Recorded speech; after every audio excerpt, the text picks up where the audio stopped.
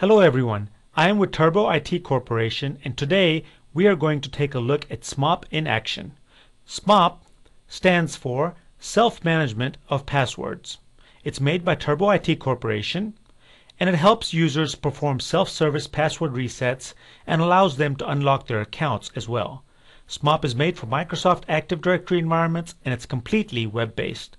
So in this demo, I will walk through the enrollment process that users go through so that they can use SMOP, and then I will show you how users would reset their passwords. Here you can see the SMOP user website. On the left-hand side, there are a few simple options for the user.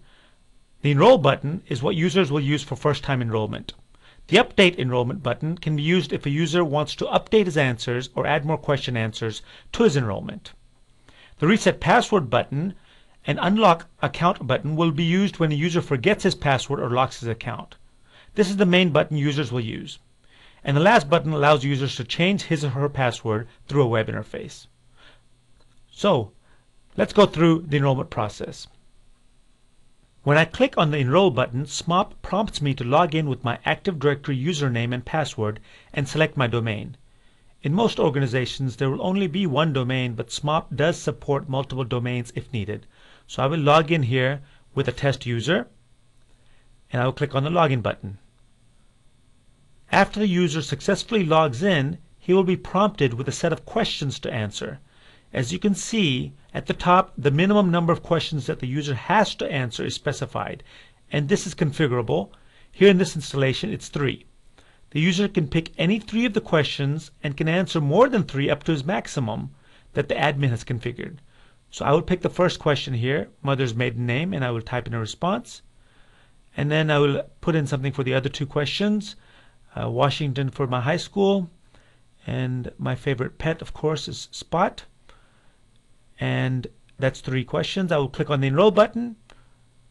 And now I get a successfully enrolled message, and that's it.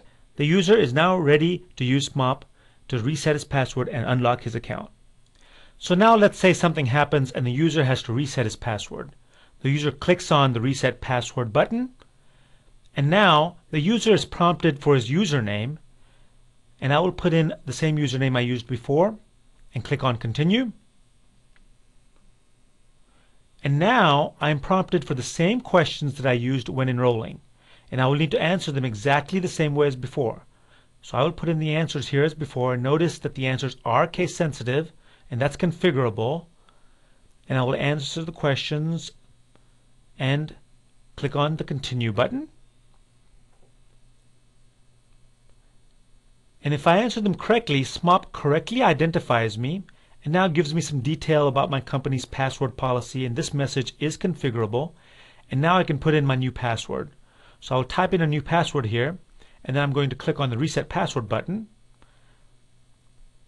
and SMOP uh, resets my password and now I can continue using my new password and get back to work. So that's a short demo of SMOP in action. It's very easy for users, very easy to set up for administrators, and I really encourage everyone to try it out for yourself. There's a fully functional, downloadable version on the Turbo IT website. Thanks.